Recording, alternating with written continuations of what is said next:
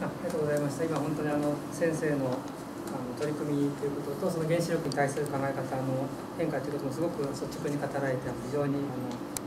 えー、感銘深く聞きましたで特に最後のところでその環境危機や倫理的危機というところで先ほど私の方から申し上げたその冷静の提言とつながるというところと、まあ、くしくもすごく同じ方向で最後にったかなというふうに非常に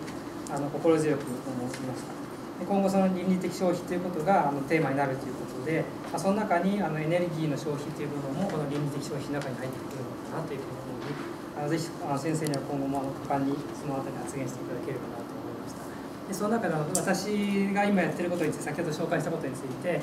あの必死に努力されてるっていうふうにさっきおっしゃいましたけどもあのよくそういうふうに言われて大変ですねとかって言われることもあるんですけども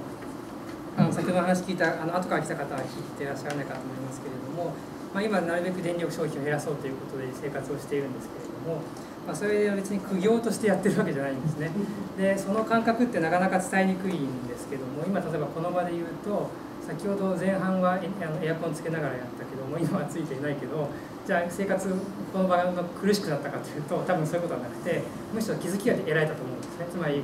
変な音がしますよね。他のところでエアコン使ったりして変な音が聞こえてくるということに対して前なかった気づきつまり自分たちの中で一種この空間に自閉して快感であったり時とは違った気づきを得て一種ちょっと開かれた感じがする。そういう形でちょっとつながったわけですね。そのあの広い世界につながった。でこの感覚っていうものが自分としては一つあってで今自分はその何ができるかっていうその次に何が省略できるかっていうそのそれが考えるのが楽しみにもなっているしそのことを通してさらに快感を得たいとさらに気づきを得たいというそういうことがあります。ですからこの生態系とつながるっていうのは辛い面もあるけれども、まあ、やっぱり基本的に快感だと思うんですね。そのことによってうちの家庭が2011年と以前と以降に比べてより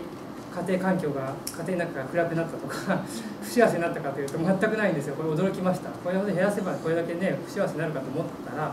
全くないんですよ。だからテレビなくなったら不幸せになったかというと全くないし違うところに行けるわけですからテレビは悪いと思いませんし見たい人はあの見る必要あのいいいいと思いますけれどもうちの場合たまたまテレビだったというだけなんですね。だから別に何かがいいと悪いという話じゃないですけれども一つをなくすことによってなくすっていうことは何か得ることでもある。何か得るっていうことは何かを減らすことでもあるというふうに考えると今の自分の生き方は別に何かそういう意味で何か苦行して修行してるっていうことでないんですね。でこの感覚ってなかなか分かってもらえないんですけども技術者だったら分かってもらえるかなと思う。どういうことかというとその狭い門から入りなさいと聖書にありますけれどもそのキリスト教の一見わけわかんないことばっかり言ってるんですごく入りにくいところあると思うんですね。ところが狭い門から身をかがめて入ると限りなく広かった。と限りなくほっとして喜びに満たされるというこの感覚ですね。これとこれがいわゆるその救済の中であると思うんです。つまり救いの感覚として自分が救われたという感覚で一回自分を捨てて受け入れることによって辛い思いするんだけどそれを超えたところにすごくホッとするところが限りなく前に考えられもしなかったようなホッとする感覚がある。この感覚っていうのが救済だけではなくてエコロジーに対しても同じなんですね。つまりそれまでは自分が持っていた快感というものを捨てると辛そうに見えるんだけどそれを超えたところにそれを超えた前にはそんあの考えもしなかったような快感というのが存在する。でその意味でこの感覚っていうのはあの救済の冷静だけではなくてエコロジーの冷静についてもあの言えると思いますし救済の冷静を経験したことがある人はエコロジーの冷静についても同じだと類推で分かっていただけるかな。逆にそれを経験しないと難しい面もあるかもしれませんけれどもということですね。あとその神道との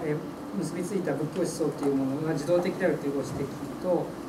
あのユダヤキリスト教総合的であるというのはすごく面白い考え方であのやはり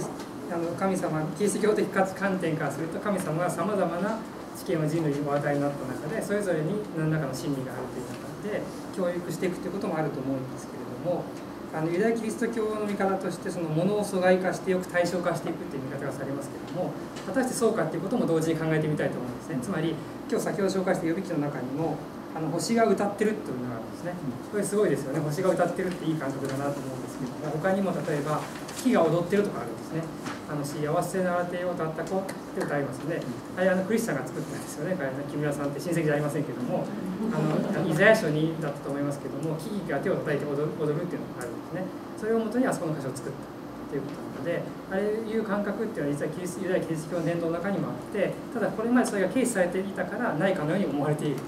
ので実はそういうところで先ほどのこの、えーえー仏教において言われているのとあの必ずしも異なるわけではない感覚っていうのが本来はあった。のをもう一度取り戻すということを逆にその仏教がそれを失わないできたということに対する敬意も含めてキリスト教がもう一度そこを取り戻していくっていうことがあるともっと深いところで共鳴するっていうこともあるんじゃないかなと。いうことを思いましただからその逆にそのあの、え、三世草木しっかり、成仏っていう成仏っていうところは逆に仏教の中でも例えばあの草があの切り倒されてあの人間のために例えば新しく開発されていくことによって自己犠牲して成仏していくという形であの正当化されたという面があるわけですね。で考えていくとそこら辺のところをあのお互いに補っていってどうやったらこの冷静といったものを高めるかっていう対話宗教間対話というものにつながっていく可能性もあるかなと思います。大変あの刺激的に伺って今後もこの環境問題をはじめ非常にあの良い意見をたくさんいただいて自分としても考えていきたい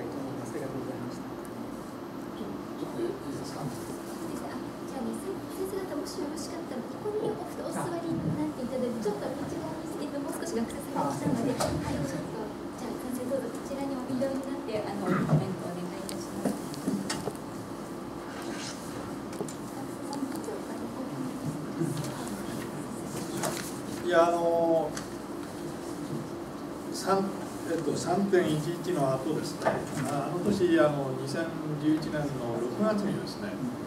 あの実は日読シンポジウム日読修行日読修行150周年のですね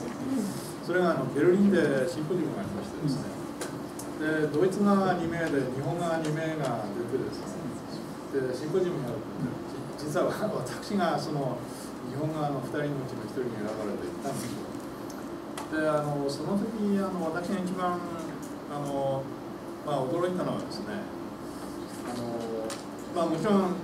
福島第一原発の事故を受けていろんな声明がドイツから出てるんですけどね。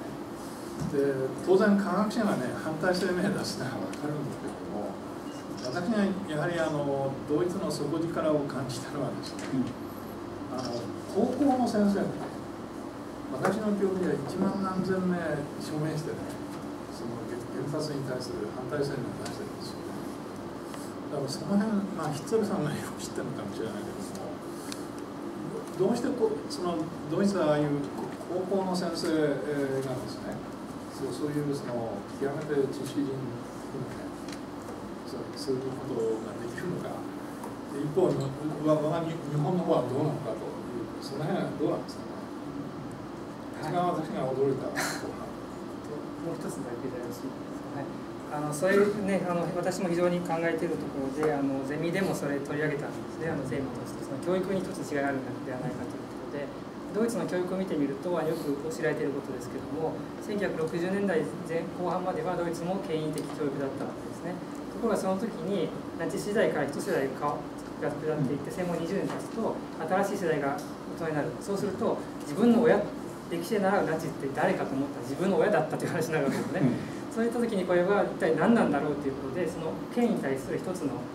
権威が崩れるわけですね。その戦後20年経ったんですね。それまでは同じ世代が形成が繰り上がっていくので特に反省ドイツはすぐ反省とかにありますけど反省すぐ反省したわけじゃなくて20年間ほっといてたって言ってもいいぐらいですね。それが世代が繰り変わった時にあの自分の親に対する問い直しとして起こった。その時に今後の教育はこれはダメだっていうことで徹底的に教育を変えちゃったんですね。それ以降はドイツの教育っていうのは本当徹底的に疑う教育に変わったというところが日本の場合は学校は基本的に教えますよね。先生の言うことは正しいだから教えてやるっていう感じなんだけどドイツの場合は全くそうではなくて、えー、いろんなことを投げかけてどうですか？聞いてみる例えばちょっと極端な話ですけども先生が 1+1 は2です。って言ったら先生とか「どうして?」とか「嘘とか言うわけですよ「本当?」とかって言うわけですそれ確かめないといけない。ここに1つあってこれもう1つあったら2でしょというふうに確かめないと納得しないのでドイツの教育は非常に日本から見るとうちの子供が生きて感じたのは進度が遅いですね。いちいち突っ込んでるからなかなか進まない。そうすると数学とかも日本よりもはるかに遅く遅くてうちの子供は数学ですごく早かったからドイツの学校行った時にヒーロー扱いされましたけども裏を返すとそれだけ突っ込んでやってるからそれだけ理解が深まるという。ことで,、で歴史についてもそうであのあのアウストラロピテクスの時代からあの歴史を遡っていくんじゃなくてあのムートツェルケと言いますけどそのあの途中省略する勇気を持つ。途中省略してもいいから例えば近代のナチスの時代だけで1年間やる。その代わり例えばあの中世のある100年間吹っ飛ばしてもいいかもしれないけどナチス時代は1年かけてやるっていう形であの集中してやることを逆にやることであの権威に対する問いかけを学んでいくということでからドイツの学校で僕ドイツの大学あんまり教えたくないと思うのはドイツの学生っていうのはツッコミが厳しいので日本の大学の教育で楽ですね。真面目に聞いてるから楽なんですけどあの上智のドイツの留学生を嫌う先生がいて今ドイツと交換と協定を増やして増やしているんですけどもう嫌がる先生いるんですね。また増やすの？とまたドイツからうるさいツッコミをする学生がいると。それは確かに面倒だし学生としては僕から思っても意味のないツッコミも多いんですね。なんだけれどもそういう基本姿勢っていうところが日本とドイツでかなり違うというところが今さっきの指摘あったそれからねもう一つ僕があの驚いたのはですねあのそその時あのドイツ側はあの女性の方が一人あのそのスピーカーにああの出たんですけどその方がですね例の、えー、原発をどうするかその倫理委員会の委員長なんですよ。うん。座長じゃない、うん、女性の方です、うん、それはあのベルリン自由大学の教授なんです、うん、あの知らない。彼女はアメリカ人なんですね、でだからアメリカ人で実はその前の晩ね、えーと、あの夕食をご一緒してですね、うん、話聞いたらな何のことはない日本の高校で英語を教えてたって言うん。ですよ、うん、その白石さん、うんえー、4年間くらいやってるの。ね、私の教育。だからあの要するにドイツのメルケルさんはですからアメリカでアメリカ人で日本でそういう英語の教授語学の教師をしてベルリン自由大学に来て研究してるようなねそういう方をねチェアにするわけですよその倫理委員会も。それはあの日本日本としてはね 考えられないですよ日本政府の常識としてはね。だからその委員会のメンバーを見ると少なくとも私の目には2人宗教界の代表が入ってるわけですよカトリックとプロテスタントね。これがね僕は日本の審議会で今日本をですねご存知のように、えー、何パーセント温暖化ガスを削減するかの審議会やってるでしょ、うん、あの審議会に宗教界の代表が入ってるかどうかね、うん、あるいはチアがね例えば外国人のね学者をチアにしてるか。全くねですから両ドイツも日本も戦争に敗れてね、うん、まあ復興を止めたわけですが、随分ね、違ってきてる違ってるなっていうところでね、ここの辺いかがですか、うん、やっぱりね私もですけれどもドイツだけじゃなくてフランスとかさヨーロッパでもねドイツフランスやっぱりなんかこう哲学のねやっぱり精神風土がやっぱりある国は違うなって感じするのやっぱりやっぱりね関東が生まれた国はだと思うしあれはパスカルが生まれた国だと思うしそれはなぜかというとねその先ほど木村先生おっしゃった学校の授業見て分かるんだけれどもやっぱりそれは何が本質で何が大事でそれはなぜなのかどうして？要するにこの根拠理由。それを問い詰めてそしてなぜかというとそれがね理解につながるからですよ。つまり本質的なこれこれこうなんだ理由これこうなんだっていうころで初めてアンダースタンドができてくるわけですね。で私ねこの要するにその本質的なもの何なのかっていうのをね問うことがなぜ大事なのかっていうのはもう一つのことで私は思う浮かべるんだけど例えばね便利とか進歩とかいろいろあるんですよ。であの先ほどお二人のすぐ話聞いて便利と進歩をね勘違いしてる人がね随分多いんじゃないかつまり便利になれば進歩した。便利になれば進化ということこれ関わり見るとねとんでもなく勘違いなんであって。その進化したんじゃなくて変化かもしれないんです要するにトランスフィギュレーションあるいはトランスフォーメーション。要するにね我々はね変化はしたんだと。江戸時代から比べて。だってちょっと待ってくれと。便利になってそれ変化したんだけど本当にね我々進歩したの？進化したの？今の原発事故どうなってるの？環境破壊どうなってるわけ？CO2 どうなってるわけ？ここなんですよ。つまり進歩とは何ぞや？進化とは何ぞや？ね？それを吟味する。まさしくそれがね星野するのが哲学ねそこら辺のスタンスがね日本とドイツのね分かれ目でもあるし日本とフランスの分かれ目でもあるしこの決定的な違いがあるね。つまり我々は科学技術の成果に対してねやっぱりね果たしてどれだけ人類のサステナビリティこの持続性可能性ですよ。人類のサステナビリティにね果たしてどれだけ寄与してるのかっていうのをね原理検証するということ。それがとっても大事なっていうのはね私感じてますね。まあちょっとこれコメント的なものなんですけどね。今おっしゃっていただいたその上のあの竹内さんのご指摘もそうなんですけど、うん、その今後さ山本先生がその倫理的消費ということであのさらに進めていかれる際に日本にそれをどうやって根付かせるかっていう問題があると思うんですけどもそういった今の数学的背景もあるかもしれませんけどどの辺り先生としてどのように今後の戦略といいますか？どういうふうに進めていくっていうことが今の社会の文脈においては考えられます？あのエシカルコンサプションエシカルコンサプションはもう私のライフワークでやるつもりなんですけどね。その前に私はもうこの4年くらいですね、その演技パネルというのを提唱してるわけですよ。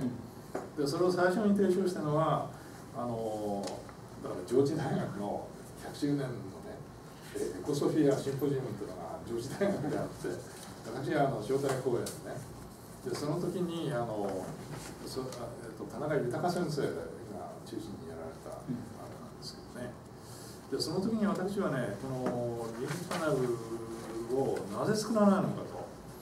その哲学者とか倫理学者とかね宗教学者の怠慢なんではないかと、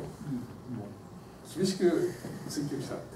そのエコソフィアでね、うんそしたら私の話に大賛同してくれた先生がいてですねアメリカ人でね。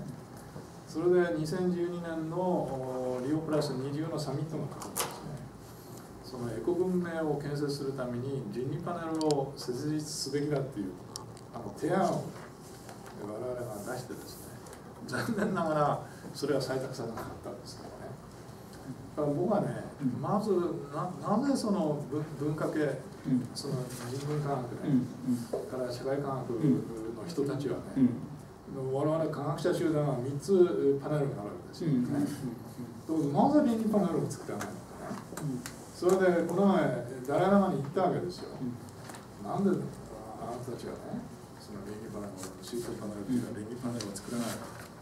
もう彼はノーコメントでねもう専門家でやってくださいって話でね。いや実はねそうそう。また私も同感なのね。それでその私も学術会議とかさいろんなねシンポジウムがあるわけですよ持続可能性であるとかそれからエコロジーであるとかというリスク社会にね行くんですよ。いろんなね。ところがそれにね科学者来るわけ理系の人たちは。物理であるとかね。それからバテリアでもいろいろありますよ。原子力工学工学理学関係ね。ところがね宗教関係哲学関係一人もいませんね一人もしかしねこれも先ほど先生言ったのと繰り返しになっちゃうんだけど私が言いたいのはね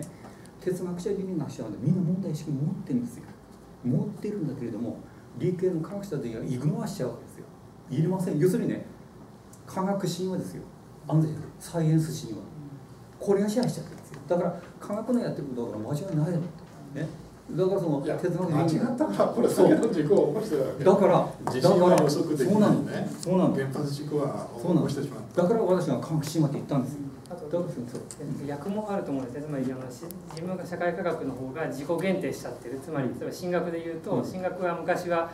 あのかなりあちこちに口出しすぎたわけですよね、そのことによってあのいろんなあの間違った自然科学の理解とかに貢献してしまったところがあってそれに対する反省から今後は口をつぐんでいようというちょっと過剰うん。抑制みたいなところがあってうんそれがなんか現代まで生きちゃってるっていうところでうん。であの人文とか社会科学も自分の分野っていうのはこれとは関係ないというふうに思っていた。で僕もあの自分の反省としても311以前はその授業でちょっと学生の話をすることはあっても自分の分野からこういった問題に対して乗り込んでいくということを外に対してアピールという形でしてこなかったんでそれはやっぱり自分は技術者でないのでこれはまあ自分は分からないと。これはまあ専門家に任せておくしかないという自己限定があったところが311の以降あの見てみると実はかなりその、えーこの原発安全あの建設とかは僕の本来の専門であるあの言語社会言語学とか言語学の点からもものすごい突っ込みどころ満載なわけです。つまり例えば直ちにあの健康に被害を及ぼすとは限らないっていう言い方はこういう事態がすごく言説として不思議な言説でここら辺のところとか突っ込みどころどんな分野からでもできると思うんですけどもそこをあの自己限定しちゃってるっていうところで多分自然科学の一方でのそれだけで済むという発想と自分の社会科学が限定しちゃってるっていうなんか両方の責任っていう気がしますね。ありがとうございます。それでは、えっと、あの、まだご発言のない方で、いろいろ質問とかコメントとかあると思うんですけれども。どうぞ、ご自由に、学生のみんなも、もう、もう、せっかく。この二人の先生が、ちょっといらっしゃるから。前から聞きたかったこととか、なんかあったら、どうぞ。どうぞ。はいちょっとあの場を和ますために あの、えー、と木村先生に質問なんですけどあの例えば冷蔵庫とか洗濯機とか要するに女性があの、まあ、負担がすごく減っていくその女性の家事労働の負担が減っていく上でとても重要なものがあってですね多分あのリストの中にそれは入ってなかったと思うんですけどまあそれの持っている例えばあのこの間新聞に出てたんですけど例えば冷蔵庫は未来に何か楽しみをその冷蔵庫に置くことができる。冷蔵庫がなければ毎日毎日こう食べるものを買ってそして料理してそれであの始末をしてっていうことしかできない。っていうその生活だったものが冷蔵庫があることによって、まあ、その女性の労働が減っただけじゃなくて未来に何かこう楽しみを持つっていうことがあのあったんだなっていうのが分かったっていう朝日新聞記者の あの冷蔵庫なくしてみた時の記事があったんですけど要するにそういう豊かさっていうものもあるわけですよね。だからあのそういう手放せない電化製品があったりとか、えー、いうものとそれからその、えー、水野さんがおっしゃってらっしゃった文明は回収だって要するに集めることであのエネルギーも集めること過剰に集めることでとおっしゃってましたけどそれと根っこ一緒かもしれないと思うんですねだから冷蔵庫を手放すことっていうことのその、えー、倫理的な面というかそこまでやってまで私たちはあのじゃあ減らしていくことがあの私たちにできるのかどうかつまり罪と考えるんであれば余剰であるものが罪であればそこまで減らすこともした方がいいのかもしれないですよね。そこってあのもしかして私はキリスト教者じゃないのでその罪とかそういう概念でそういうふうに判断したことはないんですけどあのキリスト者なら分かるっていう部分で固まってしまうとあの固まってって言ったらおかしい悪いんですけど要するにあの対立をまた招くようなことにならないかなっていうのが、ね、少し心配なんですけどなんかすごくたくさん問題提供いただいて和むどころか非常にあの大きい根本的な提起だったと思うんですけれどもそのまずその、えー、文明の域を捨てるという話に関しては、まあ、自分の今の考えですけれどもあの電気でしかできないことはやっぱり電気にやらせてもいいんじゃないかなつまり私たちが得てきたものを全部捨てるということまでするということまでは自分としてはそこまでしなくていいかもしれないでしたければ知ってもいいかもしれないけど現実に考えた場合に、まあ、どこまで減らすかっていうところでそれは個人個人の判断かなという。うちの場合たまたまこうだったということだと思いますしで例えば我が家で言うとその一つの妥協が成立するという点で、まあ、僕はパソコンを手放せない、うん、であと冷蔵庫洗濯機は家族として手放せないというところでそれぞれあのうちはこれが必要っていうのがあってそれに対してどうするか。ただしそれを作る際にあの、えー、あの迷惑をかけたくないというところでそこは太陽光をつけると。で太陽今の次のうちの課題はそのオフグリッドっていうかそのあの東電と切り離すということを考えてるんですけども、それをやることができれば例えば電気洗濯機とかは特に太陽光が強い時に回すとかそういった形で負担を減らす形で使うものは使っていくということができればあの一つの、えー、着地点になるか分かりませんけど方向になるかな。で例えば梅沢忠夫って人がねそのあの主婦廃止論っていうのを70年代言ったと思うんですけどもつまり今便利になったからもう主婦いらないと。洗濯機押せばいいから昔みたいに働くのになくなった。そういった場合現代に当てはめてみると例えば今安倍内閣は女性社会進出ということで言ってますけども逆も同じで逆も大事で例えば男性がそういうことを分かち合うことで負担を分かち合う。そうすると例えば電力に耐えている分であの楽になってた分を2人で分かち合えばそれはまた楽になりますよね、逆にお互いに分かち合うことで理解も増すと。例えばうちの場合は食洗機がないので洗い物は僕はかなりやるわけですね。で料理は妻の方が得意なんで任せた方が美味しいんですけどもできることはやるしできるところで自分のことをやることによってあの分かち合っていくという形で負担を減らすということもできると思うんですね。だから、はい、そうい。う。いいですか？はい、以上で、はい。その問題は私の専門はい、それはもう。あの結論から言うとですね。要するにあのその近代近代文明のあの便利さをねあの捨てる必要はないわけですよ。あのまあそれはエコロジカル近代化と言ってきたわけですが、この20年間我々はななどういう努力をしてきたかというとその利便性を高めながらですね環境への影響を下げるというね、そういうあのグリーンイノベーションをやってきたわけですよね。でそれはもう相当な水準になってるわけです。えー、でですからあのグローバル経済もそうで、まあ、いわゆるマネー資本主義という いい面もあれば悪い面まあ悪い面もたくさんあるんだけれども。ですから現実にはですねあの一昔前にあの混合経済という言い方がされてですね、うん、えーと、要するに資本主義と社会主義のいいところをくっつけたようなね、うん、でそういう混合経済をドイツは選んだなんていう話を私の学生時代やってたんですけどね。で今その言い方で言うとですね今日本ではどういうことを議論してるかっていうとマネー資本主義と里山資本主義のねいわば混合経済をやっていこう。それから今の技術で言えば先端的な科学技術とですね、まあ、いわゆるもう一つの技術と言われるねオールタナティブテクノロジーとねその混合技術でやっていこうでそそれで しばらく行くうちにだんだんそのサステナブルテクノロジーとかサステナブルエコノミーに変わっていけると、まあ、いうふうに我々は考えてるんですけどね。ですからもうどんどんあの洗濯機使っていただいて結構だと思います。ぜひ年末のエコプロダクツ展に来ていただければああらゆる先端の製品がありますから、2つ目のご質問ですあのあのつまりあのキリスト者なら分かるとさっき言ったところがじゃあこれは逆にキリスト者じゃないと分からないかというとそうではないと思うんですね。つまりそこで排他的なものを感じていただいたとしたらちょっと私の言い方が悪かったかなと思うんですけど。もつまりあのキリスト者の自分の経験としてあのそういうところとつながったということなのでそれは経験してる人は分かるだろうということなので別に違う経験としても分かるだろうと。私には分からないけど違う道があるだろうと。ただし僕として一つ思うのは何らかの道がないことには分からないんじゃないかと、うん、つまり科学技術を進行している間とても分かんないかもしれないし、うん、そういうちょっと何かちょっとずらしてみることで分かるという可能性は、まあ、誰にでも開けているんじゃないかなというふうに一般論としては思うんですけどそれは私自身の経験としては語れないので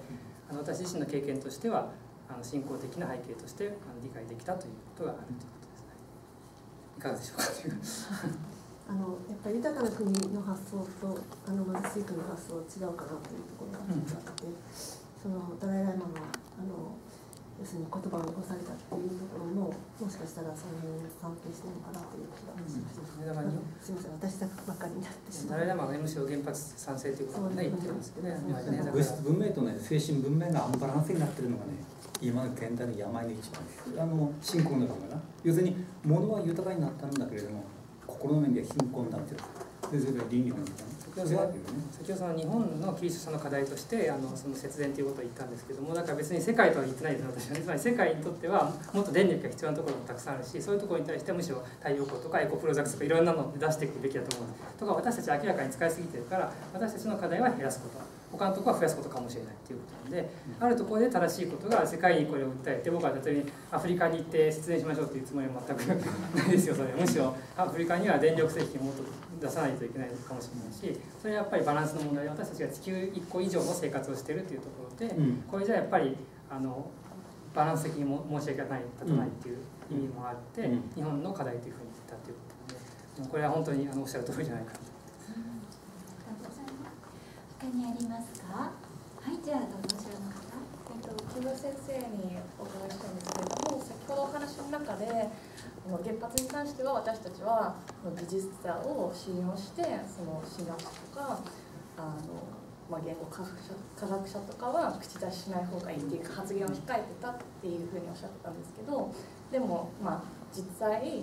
そのいろんなセクターからの意見が必要だっていうふうにおっしゃったんですけどそのバランスなんかどこのセクターはどれくらいの発言力があってなんかどこのセクターの意見を重視すべきかってそういうバランスっていうんですかね、うん、なんかプライオリティってどういうふうに決める決めればいいことなんですか？あまあむしろ山本先生にお伺いしたいところですけれどもあの自分としてはそのそれぞれの分野にできることがあるのでとにかく抑制しないで出していくっていう中でそれぞれのバランスっていうのが出てくるかな。つまり例えばあのその際に、まあ、これ昔シューマッハがあのえーと、 Small Beautiful の中でも言ってますけど学問っていうのはメタ学問が必要である。例えば科学技術だったら科学技術が社会の中で何ができるかどういう位置づけにあるかっていうことを教えるべきである。ところがそれを教えてない。教えないであのひたすらどう発展させるかということばっか教えてる、うん、そうすると科学技術的世界観が世界において唯一の世界観であるかのような錯覚を抱く人が出てきちゃうわけですよね。であの英語教育僕の言語のなんかですけど専門ですけどもあの英語教育についてもどう使うかしか教えないわけ。です。うん。どううまくなるかしか教えない。どういうところで英語が通じる？どういうところで英語が通じない？英語を使ったらこういうことがこういう問題があるってことを教えない、そういったその科学を教える際に全てその発展をあの発展することしか教え開発することしか教えなくて、それをどうやって制御していくかってことを教えない、そこは現在人間は生命倫理的に見てもあの自分たちの遺伝子壊せるし世界も破壊できるやろうと思ったらだからとにかく開発するっていう時代は終わって今後やっぱり抑制とか節制とかあるいはえっと制御ですよね。制御を含めないと科学技術教育として失敗だしあるいは英語教育としても失敗だと思うしあらゆるところで失敗するしかないという意味ではあの各学問の中にそういう制御装置を組み込む形で学問全体再現しないといけないかなというふうなところが私は思ってますけどいかがでしょうか？あの結論から言うとですねその市民と専門家を二分するっていう考えはもうやめないといけない。そうそれはどうかですね。それはなぜかっていうとあの専門家もね専門家でなくなってしまってるわけですよ。つまり過去50年間あの学問分野っていうか情報量の爆発的拡大が起きてですね専門家は専門家でなくなってですね普通の市民と同じくらいのレベルになってるわけですよだからむしろ最初から、まあ、ICU の宣伝するわけじゃないけれども、うんうん、リベラルアース的なね、うんうん、教育をして、その上で自分の専門を2つ3つ持つと、いう、そういう人がたくさん増えてくることによってね、あの今の問題を乗り越えることが私はできると思うんですが先ほどのような自分科学社会科学の分野の方がねもっとどんどん入ってこないといけないし、我々自然科学とかテクノロジーはウェルカムなんですよ、うん、だから今だから文理融合で、うん、まあ文部文部科学省もそれを進めようとしてるんだけど、うんうん、なかなかそれがうまくいってないんですよね、いや全くどうかない要するにね我々ね wisdom って言うとねみんなね expert wisdom っていうそういう戦略がやっぱりあると思うんですよね。だけどこれからはねexpert wisdom をね健全な方向に持っていくには当事者市民そういうのを交えたねやっぱりね crowd wisdom が必要それはだからその crowd wisdom と expert wisdom がね噛み合うそういう相互交流する。という一つのフォーラムがねこれから出てくるべき。ですつまりそれにはもう文系とか理系とかって一切なし。まだそれをね文系理系でね分別すること自体ちょっとナンセンスじゃないかなと私は思ってますね。先ほど今ねあの ICU の宣伝されたんであの上智の宣伝もすると。上智の場合そのシエンチアだけじゃなくてそのソフィアっていう名前上智滑って言いますけど、ソフィアって言うと H っていうかその全部含む H ですね。だから今後はそうやってシエンチアとかそういうだけシエンチアだけじゃなくて包括的なソフィアの時代になったんじゃないかと。いう意味で上智大学のやき続きは ICU にも取らず大きいんじゃないかと。上智大学のあのまあ、ちょっと褒めるとですね。上智大学にあのマンスレット・ウイルス・フレッドっていうあのインド人インド人のイエズス会士の先生がいらっしゃってですね。それであのエコロジー進学に向けてっていう論文を書かれたんですよ、うん、で私はもう非常に感心しましてですね。だからカトリックからそのエコロジー進学つまりあらゆる宗教宗派を超えてですね、うん、そのエコロジカルな進学を仕立てようというね、うん、でそのためには既存のドクトリンっていうか教説を変えて変えなくていけないところは変えなくちゃいけない、で実はダライ・ラマもそう言ってるんですよね、だから科学技術の発展でね。でその仏教の経典で変えなければいけないところがあればねどんどん変えますと言ってるわけですよ彼はね。だから僕はねこの宗教界の方もですね、もっとフレキシブルにいってはどうかなと思うんですけど、まあ、諸宗教界の会話？それをもっとという感じですかね、うん、だから宗教宗派にとらわれないエコロジー進学があり得るっていうね、うん、それはあのカトリックの方から言ってるわけですね、うん、そのウィルフレッド先生はね、うん。いいですか、なんか納得。はい、とりあえず納得。では。はい。韓国学院大学部のなんですけれども。えー、っと、そうですね、あの。木村先生みたいなね、あの生活っていうのはね、僕はできない。それで、多分、日本で。そういうのやろうっていう人は、もしくはできるっていう人は数パーセント、多分10%いかないと思うんですよ。だからそれによって解決できないわけですよねだから僕がいつも言ってるのはモラルのシステム化っていうのを言ってるけどねモラルがその稼働するようなシステム社会システムをね作っていかなきゃいけない。そのためにはあのシャドープライスって言ってるんですけど影の価格まあ本当の価格ですよね。例えば私、まあ、身近なもので言うとレジ袋とか私あの有料化っていうのを30年前から提案してるんですけど、その最初出てきて便利なんですよレジ袋は、うん、でもみんなってあのスーパーマーケットでタダで配っちゃってたん。ですよね、でいくらでももらえて約日本全体で800億枚いっちゃってる1年間使うそれで30年前からやって最近やっとあのレジ袋の有料化でまああの原価が3円50銭なんですよ1枚だから費用とか考えて最低5円ぐらいで売ればペースんですが、で、えっと、5円であの有料化するっていうのを私筑波大学勤務してて霞ストアっていうところで最初にやったんですけれども、そうするとかなり増えてくる。んで今あの、えっと、いくつイオンがですね大手のスーパーでは最初に有料化やってくれて2年23年前ですかあもうちょっと前ですかね 3, 3年前ぐらい。でかなり出てきたんですけど、でもまだ一部なんですよね。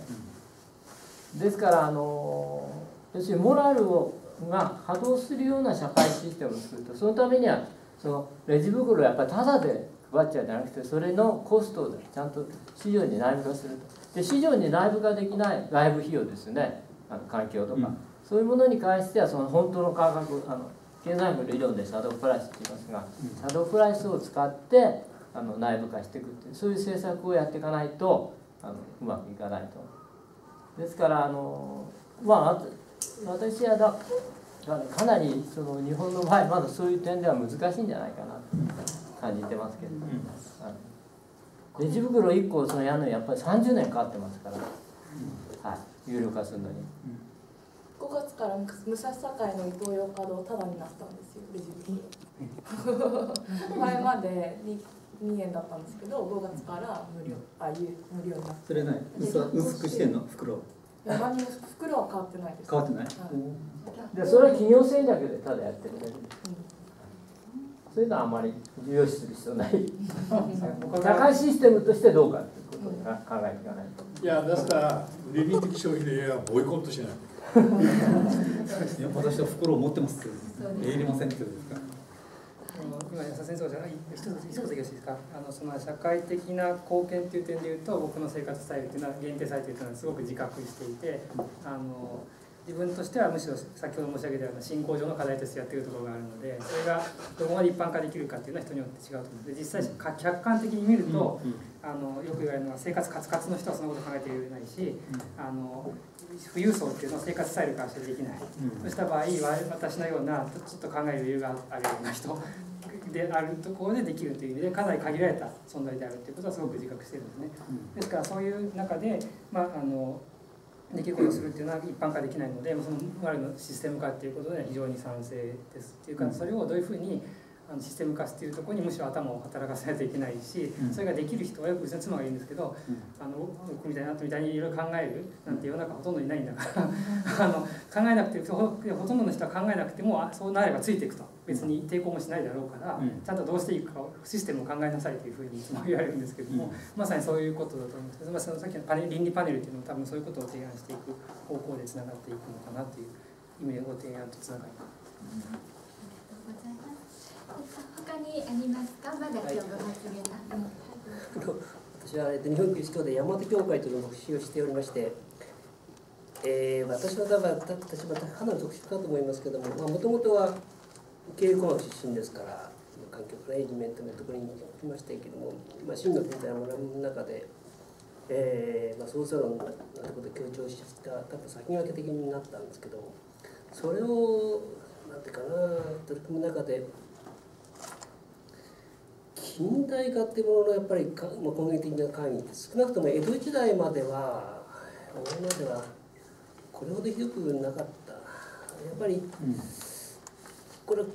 根源的にやっぱり徹底的にやられしをしなきゃいけないというふうにだんだん考えるようになりましてね、まあ、キリスト教倫理最キリスト教センターっていうかあるいは聖書の神学再構築になって、まあ、やばいなとかそうなることっていうかオーバールフ言ってるんですけどもその中で浮かび上がってるのは、うん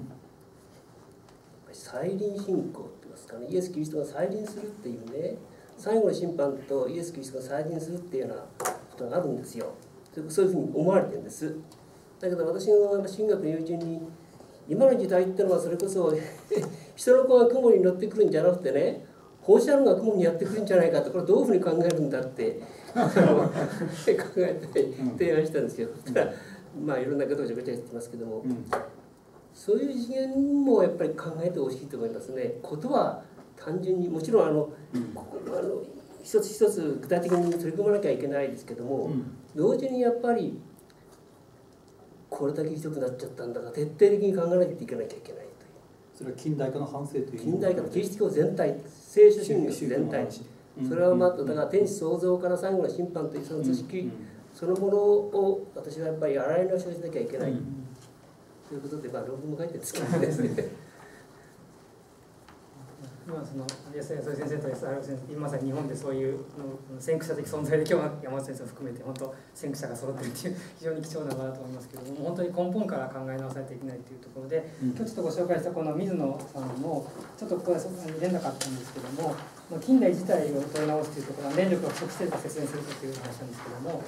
つまり近代っていうのはあのそもそも過剰をあのメとする社会になっているつまりどんどん増やしていくのがつまりこれまでは経済成長っていうのは近代以前はなかったんだけども、成長しないといけない構図になってしまったこと自体の中に過剰さがもう潜んでいると、だからそこから本当は考えないといけないということを言っているので、そうするとそういう中に乗っかってきたあの科学とか神学とか全ての学問ですよね、それも含めて本当に問い直しが必要とされているという点で本当にあの僕もあの2人の提言に本当に日々学ばせていただいていけるという状況です。他にご質問コメントある方いらっしゃいますか？はいどうぞこの大学の関連の意図というものなんですけれども、えっとあのえっと、山本さんにと質問があってで、えっと、あの原発事故の、えっと、原因をずっと探探っていたときに、えっと、あの失敗の原因がそのデザインのミスだったというふうにおっしゃっていたんですけれども、その具体的なそのどういうミスだったのかなっていうのがちょっと気になっていて、というのもそのあの原発事故が起きてその時に起きた地震っていうのはその今までにあったの地震の規模と比べてももう想像を超えるような大きさの想定外のような規模の地震だったわけじゃないですか。うん、ででそのあのでそのでそういう地震で事故が起きてしまって、うん、でつまりその想定外だったっていうのではでも済まないじゃないですかその事故っていうのは。うん。でそのそういう事故をきっかけとしてじゃあこれからどうしていくべきなのかってなった時にその、まあ、ちょっといあの NHK にインターンに行った知り合いから聞いた話なんですけど、うん、の NHK でもその今までそういう地震とかに対するその警告はしてきたつもりだったと、うん、でもその警告っていうのが全てその想定の中だけのものであったっていうのでうん、でその3.11を受けてそのギガディザスタメガディザスタその想像の範囲を超えたようなものもこれからは伝えていかなきゃいけないんじゃないかっていうスタンスに変わったっていう話をしてたっていうのででそのこのデザインのミスっていう失敗もそのやっぱりそのどういうその例えば想定外のことが起きたからそれに対応できないようなデザインだったから失敗したのかそれとも根本的におかしかったのかみたいなそこがちょっと気になって。あのねえっ、ー、とそれはあのだからあの失敗学で検索をかければね必ずそのレポートが出てきますからそれを読んでいただくのが一番いいと思うんですが要するにそのフェールセーフっていうか何か事故が起きた時にもねその抑え込めるっていう設計になってなかったわけですよデザインが。まあ、一番いい例はあの、えーと、地下2階に置い置いてたわけですよ。あの、えー、あのディーゼルであの予備の発電機がね。だから 要するに津波が来ればね。地下はもう水で水浸しになっちゃうから、うん、そういう予備電源っていうのはそのあらゆる事態を想定してもねあの生きていなければ生かしておかなければいけないわけで、うん、だからそその類の誤りがね、うん、何箇所もあるわけね。だから一体だから普通の工学者エンジニアがですねあの設計を見るとね完璧に間違ってると、ところが安全だ安全だっていうそのあらゆる業界が安全だで声を揃えてるからねそれを普通の人が言えなかったというあのそのものすごく残念な誤りでね、だから東北電力の女川原発は助かったわけですよ、それは副社長が、まあ、東大の工学部出身でねそれでその人の判断で最悪の場合を想定して、えーと土地の高いところに作らせたわけですね。それとかあのまあ日本人としてね私あのエンジニアとして申し上げたいのは失敗ばかりじゃないわけですよ。た例えば東北新幹線は27両がね、えー、とそこの270キロくらいですっ飛ばしてたんだけど全部止まったわけだ安全に。一人のあの怪我人も出なかったそれはもうあらゆる努力を払ったわけですよ、あの JR がね。だからあの東北新幹線沿いに60箇所に地震計設置してですね。で地震計が感知するとあの要するにピア波をか検知するとですね直ちに停止命令がいってですねそれで次の大きな揺れが来るまでにあの自動的にブレーキがかかるようになっててでそれであの、えっと、セラミックスのアルミニウムの粉末をですねその新幹線のあの車車輪に吹きつけるようになってる。あの、うん、あ線路に吹きつけるようになってるわけ、うん、でだからフリップしないようにね。そそういうあらゆる努力が走行してですね、あの全く安全に止まったですよ。27両ね。これはだから簡単に言うと一体原子力関係の技術者とかね行政とかね経営者は何をしてたんだということが本当に。だからそれがまさに人災だということなんですよ。いや私もね今質問なさった方に一言一言コメントしたいのはね失敗。失敗の失敗でもねその納得にいく合理的な失敗と納得できないね つまりね後悔と被害を大きくしてしまった不合理な失敗があると思うんですよ。ね、でそれ今回の福島原発という事故はあれは不合理な失敗なんですね。というのはね地震とかそういうのはいつでも想定外なのよ。だから想定外にならないつまりね最悪の事態を最悪の事態を想定して対策を練っていればこれはまあ合理的な失敗に入るでしょう。つまりねあの被害と後悔後悔と被害が少ない。後悔と悔い改めるね。話ですね。ところが不合理な失敗がね今やっぱり我々のところに蔓延してるってことじゃない？つまり最悪の事態を想定しないで医師のごまかし。ね。それよりも甘い基準甘い基準。それまさに今そうですよね。まさにね。だからその不合理な失敗と合理的な失敗というのをちょっと考える必要があるんじゃないかと思います。うん。まあの今のそのご質問でその日本の場合はあの福島の場合はその見ようと思えば見れたことなので、まあ、想定外じゃないっていう前提があると思うんですけど例えば2006年に共産党の吉井っていう議員が実際に津波が起こったからダメですよって国会で質問してるにもかかわらず無視されてるわけですよね。っていう意味であの想定外っていう言い方自体が、あの言い方として適当ではなくてあの相当想定不適当とされたとかいうふうになりますけども想定しないのが適当だというふうに判断したというふうに勝手に判断したわけですよね。で似たような構図って日本に多いなと思うんですけど僕は昔から気になってたのはあの小泉内閣の時にイラクに派遣した自衛隊派遣した時に戦闘地域に派遣しないというのを決めたんですね。で戦闘地域じゃないからサマーに派遣するって言ったんだけどもイラクに行ってみたらここから戦闘地域じゃありませんって札があったわけないしあのそんなそんなあるわけないですよで海外のニュース見てるとそんなの出てこないんです海外ニュース見てたら日本が初めて戦闘地域に派遣したって書いてあるわけですよつまり報道としてはねそんな区別は国際的に存在しないわけだから勝手に想定してるわけですここは戦闘地域じゃありません勝手に想定してやめてしまうという発想自体があのなんか無意味なんですけどその点はドイツが今回なぜ脱原発したかの理由としてあの地震が起きたから日本は津波あの福島原発事故があった、でドイツ地震ないのになぜ脱原発するの？という疑問があるわけですね、それに対してドイツの方の倫理委員会がどう答えたかというと、つまり今回は地震だった。けど地震だったっていうことは他の可能性もあり得るということですね、あのチェルノブイリの時は止めようとしてダメだと。かいろいろあるわけだから今回地震がなかったから地震がないからじゃあ OK っていうんで何も学んだことにならない、地震だったから OK じゃないっていうことは他にもあり得るって考えないといけないという意味で想定外という発想自体を廃止しちゃったということですね。だから日本の場合は昔チェルノブイリが起こった時にうちはソ連とは違う。こっちは日本人真面目だから大丈夫とかそういうふうなことを言っていつも毎日違う違うと言い続けてくるわけですね。そういうのじゃなくて違うんじゃなくてもっと想定すること自体の限界にを築くべきではないかっていうところでドイツは脱原発したという今のご質問とつながりそれとね、もう10冊以上のいろんな報告書がね大量に出回っているわけですよ。ね、ところがね自分の責任でこの事故が起きたっていう人は一人もいないわけですよ。日本ではね。僕はね非常に残念に思うんですね。これは。誰か、まあ、私の責任ですっていう人が出てこないといけないはずなのにね。誰もが自分に責任がないと思うこれが日本的システム、うん、誰も処罰されない。誰も責任を感じない、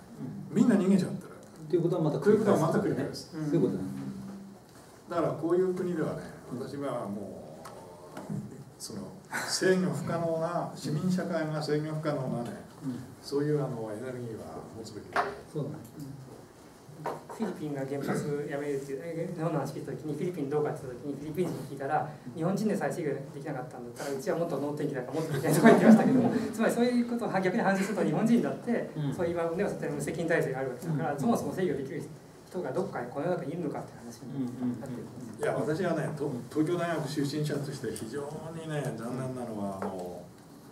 えっと、地震の初日私も一晩寝られなかったわけですけどね、うんこれはもうメルトダウンが起きると分かってたから、うん。ところがね NHK のあの解説で東大の教授が出ててねうん市民に逃げろと一言も言わないわけですよ、分かってるはずだ本人はね、これ今メルトダウンが起きててねあのいつ爆発してねうん。だけどそのああいうメジャーでね逃げろと言わないこれはね僕は残念ながら科学技術の失敗だと思いましたねあの時ね、倫理の欠落でもありますねうん。根本的に間違ってるねどっかねありがとうございます。えっと残り時間もわずかになってきましたが、まだあのご発言のない方どうぞ。この大学1年の近松と申します。授業の関係で途中から参加で申し訳ないんですけど最後の方に環境問題を考える際に理系の分野だけではなく宗教であったり倫理であったりの方面からの参加も必要だっていうふうなお話があってで環境問題になるとやはり本当に私も同感で理系だけではなく政治宗教いろんなものが関わるべきだと思うんですがやっぱり日本のような宗教分離が徹底されてる国ではその環境問題に対して宗教であったりそういう倫理の方面からはどのように関わっていくべきなのかっていうのが質問があります。いやあの宗教分離の考え方が誤ってる日本はね。それはあの戦前のだから厚物に懲りてナスを吹いてるわけでね。戦前に国家神道があってですね。で新しい憲法ではそこを分離したためにねその過剰なほどあの今分けてるわけですよ。でそれはもう誤りなの。もっとですね宗宗教界の人がですねいろんな国の審議会に入るべきだしね議論を戦わせるべきだと私は思いますけどね。宗教分離っていうその考え方そのものをだから誤解変えていく誤解日本の場合は誤解だと私は思います。本当は役としてはあの政教分離が教会がという組織と国というのの癒着を防ぐというで別に宗教的要素というものをあの社会から排除するってはずじゃないんだけどもそこをよく誤解されてこのゼミでもあのそういうあの教会が原発に対して発言しているというのをカトリックのセミナーにゼミの学生と行った時にあの僕の学生も質問しててどうして教会が僕の発言するんですかと政教分離ではないんですかっていう言ったんですけどもそれはその政教分離という考え方が日本では宗教はそういうところに口出さないっていうそういうなんかそういう理解になってるから政教分離って言い方自体自体がおかしいかもしれませんねそこから本当はあの考え考え直さないといけないかもしれないですけどね課題は大きいですね。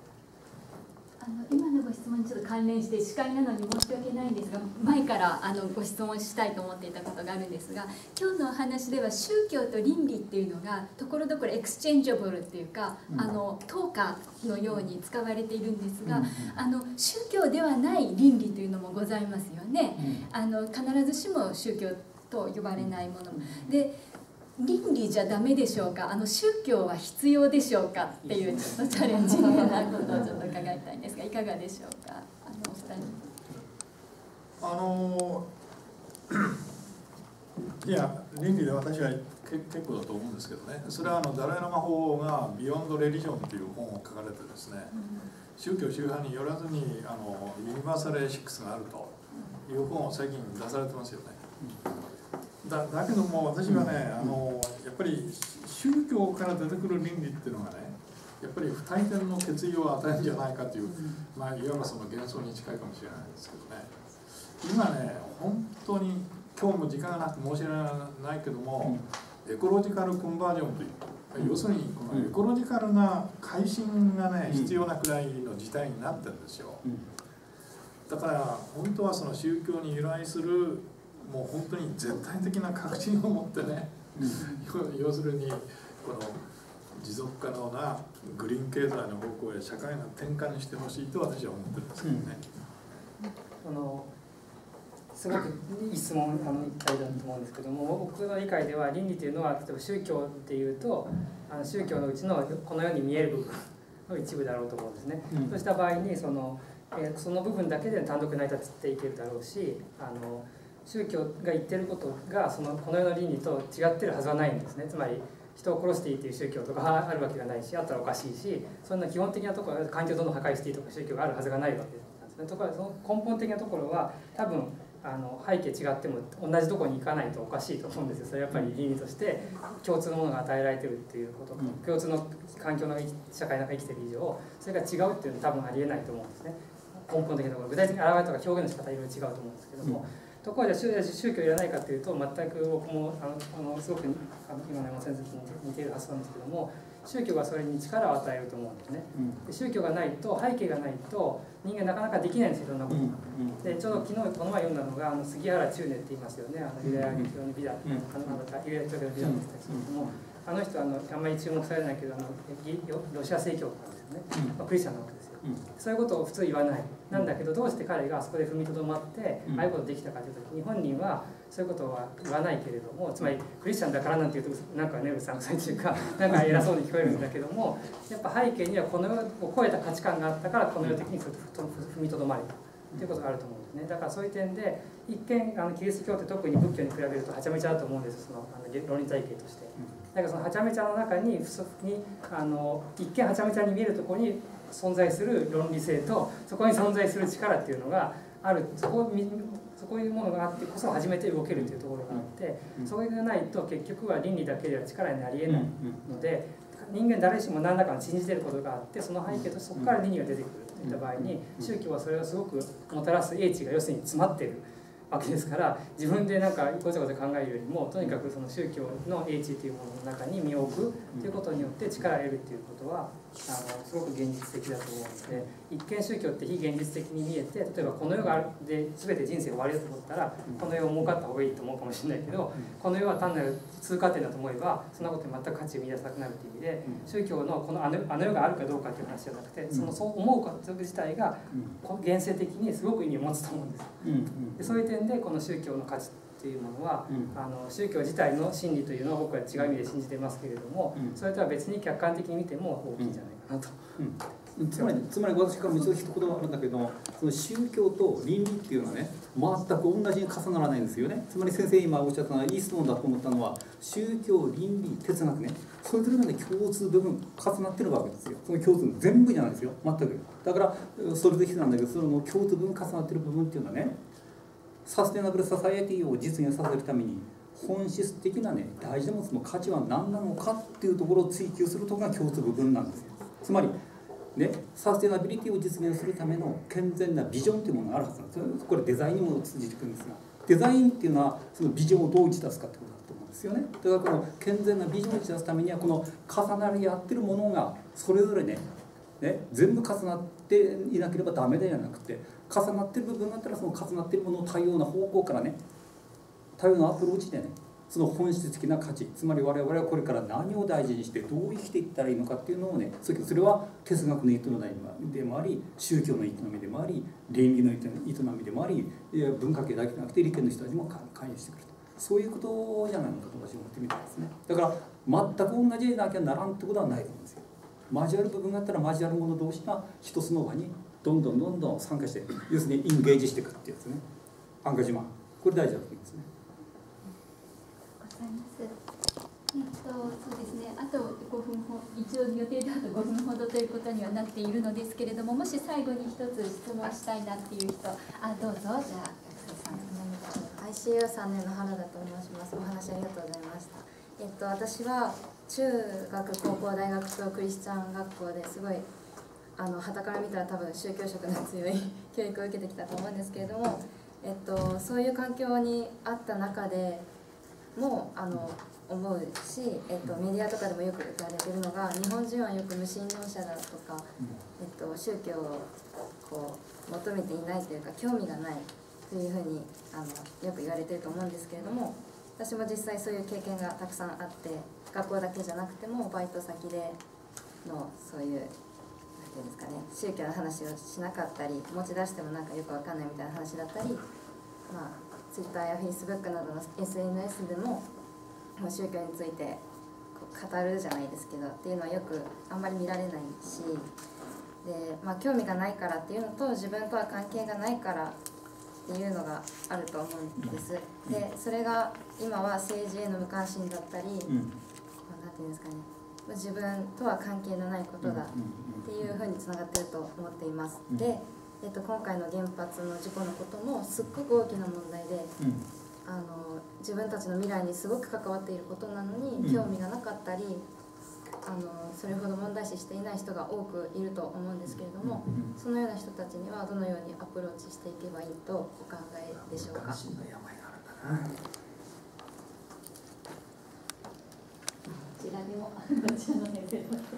あのね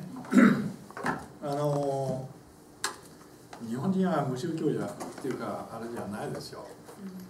で今回のあの東日本大震災でもですね被災地で整然とあの住民の方々が行動されてましたよね。それはもう各国のメディアがもうみんな取り上げていて日本人はなぜね整然と行動できるのかねこの非常事態において。あのそれはねえっとまあこれはもうだから天台宗はね草木国土しっかり成仏とかそういう思想がね我々に身に備わってるからああいう整然たる行動ができると自画自賛してる。それでそれはね僕はあのもちろん自画自賛なんだけども一部の理屈はあってですね。で日本はあの要するに多宗教を許容する国なのでこれは聖徳太子がね最初にもう言ってるわけですよ、心を治めるのには仏教人を治めるつまり国を治めるのには儒教、それで自然を治めるのは神道だって言ってるわけですよ、だからもう聖徳太子のところからねだから神道仏教儒教をねみんな使いこなして考え。る、でこれがあの幕末になってあの二宮尊徳って皆さん知ってるかどうか知らないけども二宮尊徳の村おこしっていうか経営哲学の革新はね、彼は何て言ってるかっていうとこれはあの新あの料理に例えてるんですよ、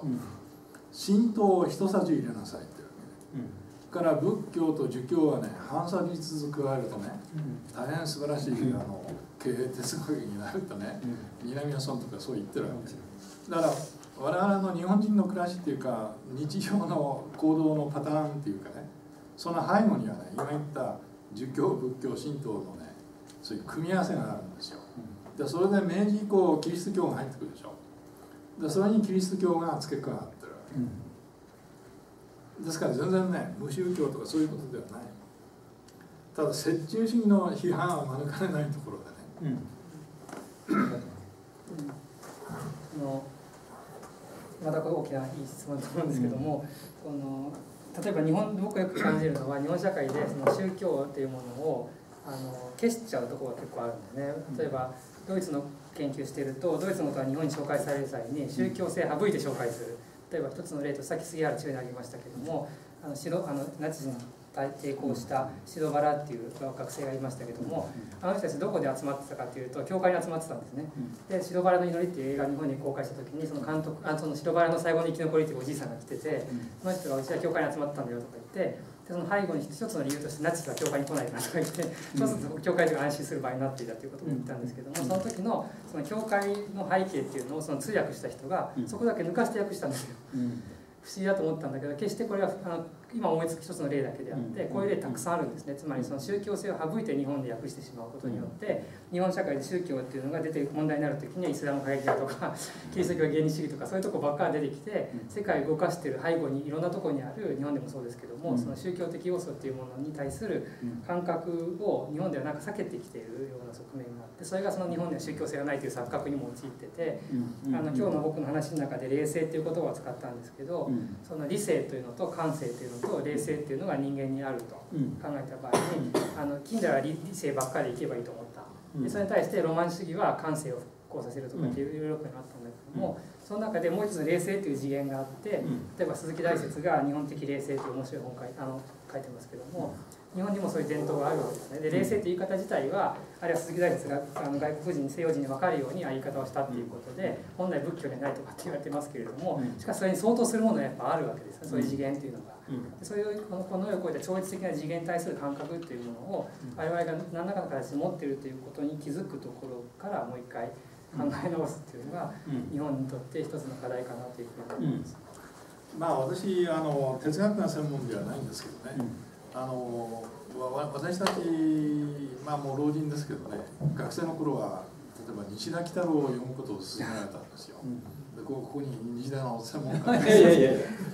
それでねで私はねこの年になるまで西田喜太郎がそれそれほど偉い人とはね思ってなかったんですよ。ところがねみんなにそのその仏教学者あるいはキリスト教学者の先生方に聞くとね、みんな西田哲学を褒めるわけですよ。それはなぜかというとね、その絶対無の哲学っていうのがね、結局絶対無の哲学が要するに場所の哲学になってるって、その場所の哲学においてねさまざまないろんな哲学が、あの生きてくるってわけです。よ。だからままず一度その絶対否定ねアブソルートナッシングネスをねちゃんと理解しないと、その思想の相対性というかね、生きてこないって、その最初からそのキキリスト教のね神学だけ勉強するとあの非常に変更してしまう、だから西田哲学っていうのはね、